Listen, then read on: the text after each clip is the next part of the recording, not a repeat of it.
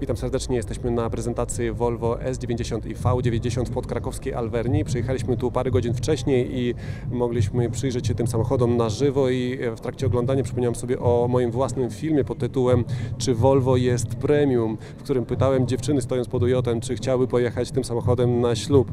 I pomyślałem sobie, że można by było zrobić coś naprawdę szalonego. Otóż mm, moglibyśmy zrobić coś w rodzaju konkursu dla osób, które w lipcu lipcu lub w sierpniu planują swój ślub i jeśli napiszecie w komentarzu pod tym filmem, niekoniecznie oczywiście to musi być Twój ślub, to może być ślub Twojego przyjaciela, brata czy syna. W każdym razie, jeśli chcecie pojechać na e, ślub e, taką oto pięciometrową luksusową limuzyną e, i to jest pierwsza część propozycji, a druga propozycja jest taka, że szofer tej limuzyny stoi właśnie przed Wami, to możecie to załatwić na właśnie taką uroczystość, po prostu pisząc komentarz pod tym filmem i uzasadniając, dlaczego powinniśmy wybrać właśnie Ciebie. Także zachęcamy do pisania komentarzy, powiadomcie swoich znajomych, będziemy obserwować liczbę łapek w górę i oczywiście też weźmiemy to pod uwagę, więc niech znajomi przyjdą i wesprą Wasze propozycje i Wasze uzasadnienie, dlaczego właśnie Wy. Nie przedłużamy więcej, nie robimy jakichś skomplikowanych konkursów, bo wiemy, że przygotowania do ślubu są bardzo pracochłonne,